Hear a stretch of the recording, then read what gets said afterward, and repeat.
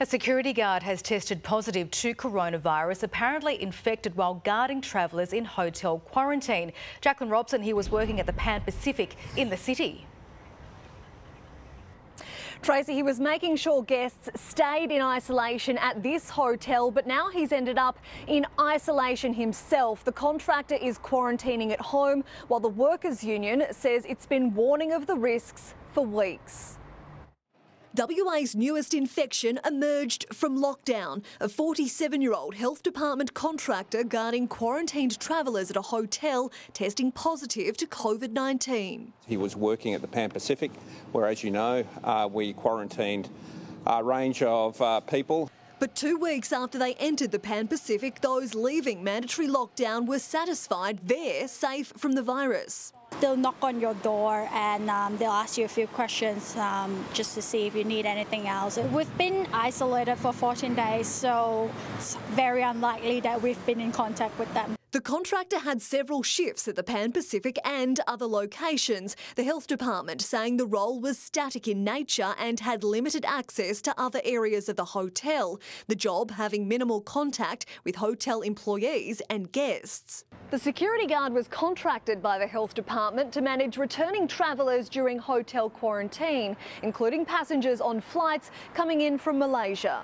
Tracing is now underway to determine where the infection came from. There's concerns it was from close contact at the hotel, the worker presenting to a COVID clinic after developing symptoms. This is one of the hotels where a few weeks ago we raised issue about security guards not getting proper training, not getting proper PPE. What it shows is it's extremely contagious and uh, you never know where there's going to be uh, someone acquire the illness. For those quarantining on Rottnest Island, They'll celebrate an end to their 14 days tomorrow. All 209 of them checked daily for symptoms. I think the closest I might have been was our checkout medical a couple of minutes ago and that must have been a metre. Rottnest will remain a quarantine island once the travellers leave, just in case new infections become clusters. Jacqueline Robson, 9 News.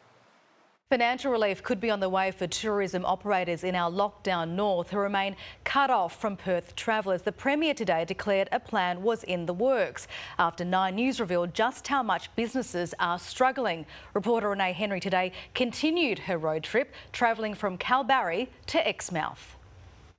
We arrive at WA's whale shark capital, though that title, which usually attracts hundreds of thousands of visitors at this time of year, doesn't mean much right now. Caravan parks and hotels near empty, the township quiet, and operators have all the gear. Some snorkels, wetsuits, um, fins all ready to go. But no one to take out to sea. This year we were on target to pay off our business and have a small amount of money left over to where we'd never have to use our pre-bookings money again. That's gone. It was supposed to be a bumper season, bookings up more than 50% when just five days in the young couple were forced to lock down, laying off six staff and now cashing in their super to make refunds, but even that won't cover it. They say almost half of Exmouth's whale shark operators are being forced to sell off assets. And now another blow. No Perth tourists for at least another five weeks, while the southwest reaps the benefits. It's still hard to swallow because they just came off their peak season down there. They just had a summer,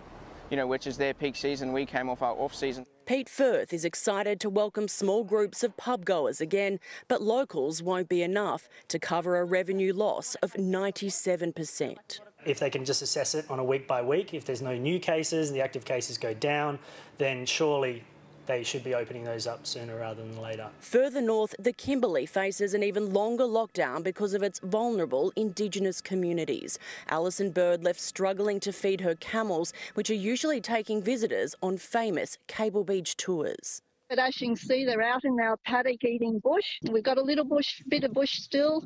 Once that runs out, I don't know what we'll be doing. Today, though, a glimmer of hope. Plans of financial relief for struggling operators after Nine News last night revealed their desperation from Greenhead to Geraldton and Kalbarri. We understand that. We're working uh, on a proposition as we speak. What could that look like?